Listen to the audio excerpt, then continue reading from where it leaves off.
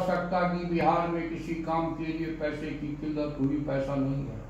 हमारे नेताओं ने जितनी योजनाओं का, समाज के दलित वर्गों के लिए, अत्यंत पिछड़ों के लिए, पिछड़ों के लिए, सबके लिए, सब वर्गों के लिए काम किया गया। साइकिल योजना में कोई वर्ग नहीं है। बच्चों को कपड़ा देने में कोई वर्ग का फ़र्क नहीं है। स्टूडेंट क्रेडिट कार्ड में पढ़ने वालों का इंतज़ाम है। स्किल डेवलपमेंट में कोई वर्ग, कोई जात नहीं है। स्वाभाविक तौर से समाज का जो कमज़ोर वर्ग है, समाज परिवार की मजबूती के लिए जैसे बच्चे को और बीमार आदमी को ज़्यादा तरजीह दी जाती है, ज़्यादा उसको इंतज़ाम किया जाता है। समाज को, देश को मज़बूत करने के लिए भी जो हज़ारों हज़ार से उपेक्षित और कमज़ोर बढ़ रहा है, उसको ज़्यादा ताकत देना, ये तो हमारे नेता डॉक्टर राम मनोहर लोहिया और जी भी करते इसीलिए इन सिद्धांतों के आधार पर यह किया गया। लेकिन इसका सवर्ण आयोग भी गठित हुआ। उसके हितों की भी बात की आज बिहार कृषि प्रधान राज्य है। पूरे देश में श्री स्वामीनाथन साहब बड़े भारी एग्रीकल्चर के जाने माने साइंटिस्ट हैं। उनकी अध्यक्षता में एक कमेटी बनी। उनका रिपोर्ट का मैं ज़िक्र कर रहा हूँ, उन्होंने कहा कि जे देश की जनसंख्या बढ़ी है।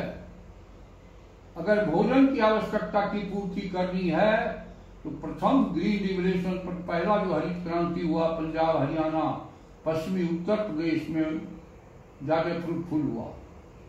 द्वितीय कृषि क्रांति के लिए ईस्टर्न इंडिया को केंद्र बिंदु बनाया जाए। और ईस्टर्न इंडिया में भी नॉर्थ बिहार, तीन फसला ज़मीन दुनिया में कहीं नहीं है, नॉर्थ बिहार को इसका केंद्र बिंदु बनाया अभी ज़िक्र कर रहे थे बाढ़ की संजय बाबू।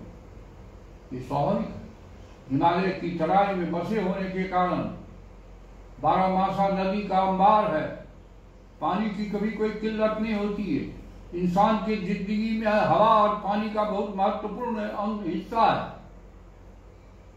ठीक है कभी कभी दो तीन महीने बाद में परेशानी होती है। लेकिन तीन फसला ज़मीन ये वैज्ञानिकों का कहा हुआ, कभी नहीं है दुनिया में, ये सौभाग्य तो हमारा है। इसीलिए तीन फसला ज़मीन की प्रोडक्टिविटी को, उपज को बढ़ाने पर हमारी समृद्धि कितनी बढ़ेगी? इसके लिए इंफ्रास्ट्रक्चर की ज़रूरत है क्या? दुनिया के अर्थशास्त्री कहते, किसी इलाके में गरीबी मिटाना हो तो रोज़गार बढ़ाना पड़ेगा। और रोज़गार बढ़ाने के लिए बिजली और यातायात। यातायात में सड़क है।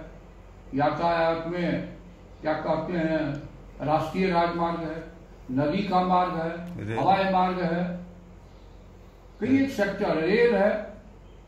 अभी हवाई मार्ग का भी ज़िक्र किया संजय जी दरभंगा में भी एयरपोर्ट की फैसिलिटी हो रही है पूर्णिया में भी हो रही है। इस राज्य का सबसे बड़ा एयरपोर्ट है पूर्णिया। डिफेंस के लिए बनाया गया। सरकार ने ज़मीन देने का फैसला किया। कहने का मतलब कि इस इंफ्रास्ट्रक्चर के डेवलपमेंट से अब आपका जो पूर्णिया प्रमंडल है सबसे ज़्यादा मक्का उत्पादन होता है। और साथ साथ जो संजय बाबू ने कहा उसका भी ये, ये क्या बोलते हैं? मखाना। मखाना का भी उत्पादन मैंने देखा है पूर्णिया में और कटिहार में। वृहद स्तर पर युद्ध स्तर पर लोग खेती के रूप में करते हैं। अब जो विक्रमशिला में एक और चार लेन का ब्रिज बन, बन, बनने का निर्णय किया जा चुका है। यहाँ आपके गुलाब गुलाब बाग से मनिहारी तक फोर लेन की सड़क बनेगी और मनिहारी में एक चार लेन का साहेबगंज तक का ब्रिज बनेगा। कलकत्ता जाने के लिए हमारे मखाना को और मकई को कितनी सुविधा होगी? क्योंकि हमारा नियरेस्ट पोर्ट जो है समुद्र के मार्ग से, जो चीज़ें जाती हवाई जहाज़ से कम जाती है कलकत्ता का उससे उपलब्ध होगा पोर्ट ये सब काम श्री नीतीश कुमार जी की रहनुमाई में ही होने जा रहा है। इसलिए आइए हम सब मिलकर के व्रत ले, प्रतिज्ञा करें कि आने वाले वक्तों में समृद्ध बिहार उन्नत बिहार रोज़गार परक बिहार और आज की इक्कीसवीं सदी की आवश्यकता भी है। पढ़ो और गढ़ो मैंने स्किल डेवलपमेंट भी हुनर सीखो। तो हुनर सीखने के लिए paramedical polytechnic engineering college medical college I I T I T ये सब भी हर ज़िले में खोलने का काम। मुख्यमंत्री जी ने करने का काम किया कि पढ़ो उसमें हुनर सीखो तो गढ़ने का काम करो और तब ऊपर बढ़ो।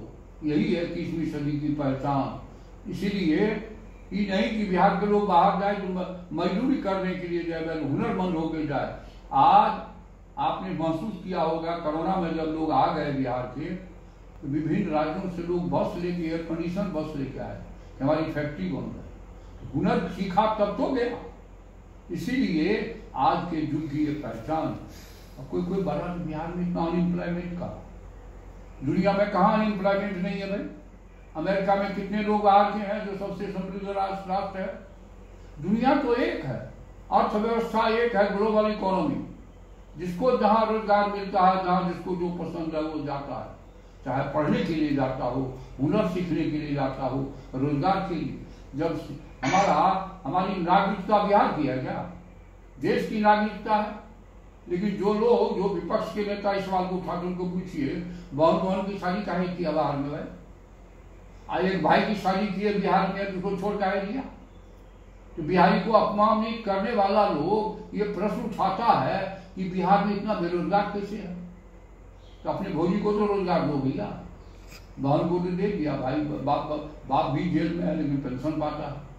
तो अपनी समृद्धि के लिए सब कुछ ठीक। यहाँ की महिलाओं का अपमान, बल्कि महिला को तो व्रत लेना चाहिए एक वोट लालटेन छापा नहीं मिले। इसलिए कि बिहार की महिलाओं का अपमान उसने करने का काम किया।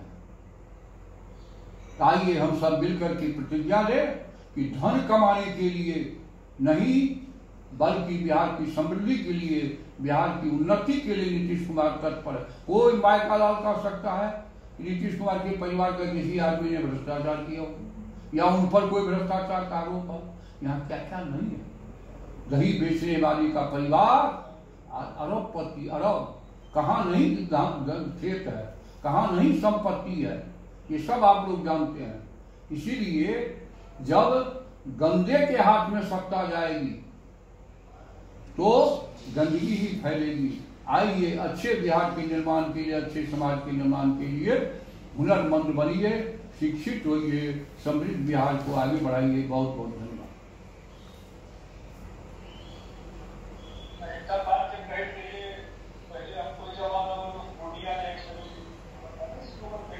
रही जहर न खाओ हाँ जहर नहीं खाए माहौल नहीं खाए। अब मोरे के मन हुआ पूर्णिया जाइए हम नहीं कह रहे हैं। नाथ रेणु की जो किताब मशहूर हुआ था मैलाचल जिसमें जिसमें जिसको रूस ने पुरस्कृत किया था। उसकी ये उक्ति है। ये उनकी उक्ति है हमारी नहीं। आज वो स्थिति नहीं है यहाँ यूनिवर्सिटी है एग्रीकल्चर कॉलेज है medical college engineering- engineering college. Engineering college क्या नहीं खुल गया है? एयरपोर्ट बन जाएगा लोग चप्पल से हवाई जहाज़ पर जाएगा। हवाई चप्पल। बहुत बहुत धन्यवाद। हवाई जहाज़ से हवाई हवाई चप्पल से हवाई चप्पल से हवाई जहाज़ पर।